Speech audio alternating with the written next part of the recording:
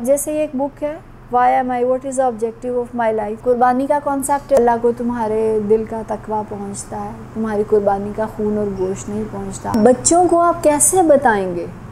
अब उसमें हमने बाकायदा थर्मोपोल का मैंने एक बकरा बनवाया। बच्चों ने उसको तकबीर कही, उसको ज़िबा किया। वहीं पे उसी सिनेरियो में बताया कि अगर यहाँ गोट की जगह कोई बेबी हो जाए तो बच्चे इस चीज़ से थोड़ा स्केर्ड हुए। फिर हज़रत इब्राहिम और इस्माईल का जो सारा इंसिडेंट और इवेंट है, वो कोट किया वहाँ पर। फिर बच्चों को कहा कि अल्लाह तो इतना प्यार करता था कि बेबी की जगह वहाँ पे एक लैम आ गया। तो आप देखें कि हज़रत इब्राहिम इस्लाम अल्लाह ताला से कितना प्यार करते थे। जो अपने बेटे तक को सेक्रीफाई करने के लिए तैयार हुए। देखें छोटा सा बच्चा है ना, अपने बाबा की टांगें दबा रहा है।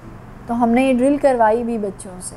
ये बच्ची अपनी मदर को मेडिसन दे रही है। उसे कहा, अगर आप अच्छा सा पढ़ेंगी फॉर एग्ज़ाम्पल आपकी मामा को मेडिसन की ज़रूरत है, किसी चीज़ की ज़रूरत है, आप उनको पढ़ के सुना सकेंगी। उन्हें कुरान पढ़ के सुना सकेंगे, उनको हेल्प आउट कर सकेंगे कि जो छोटे बहन भाइयों के साथ बच्चे तो काफ़ी पोजेसिव हो जाते हैं, उनको कैसे ट्रीट करना है? फिर इसकी ड्रिल्स है। दीगर मखलूक के साथ सलूक रसोल्ला के, सल्लल्लाहु अलैहि वसल्लम की ज़ात के जितने भी वाक़ात हैं, कोई स्पैरो का है कैमल का है, बिल्ली का है, हमने तमाम वाक़ात इसकी ड्रिल्स में बच्चों को कराए।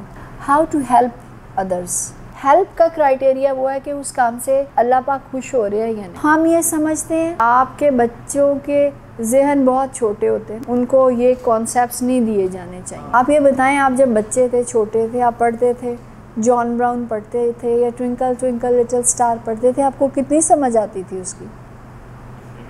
आज जब आपको स्टार को देखते हैं तो कहीं पोइम समझ आती है ना?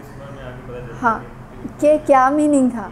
तो जब आप बच्चे के माइंड को फ़ीड कर देंगे ना, किसी अच्छी चीज़ के साथ, वो आइडिया एज के साथ साथ फ़ीड होता जाएगा, वो भी परवान चढ़ता रहेगा और वैसे वैसे बच्चे को याद आता रहेगा।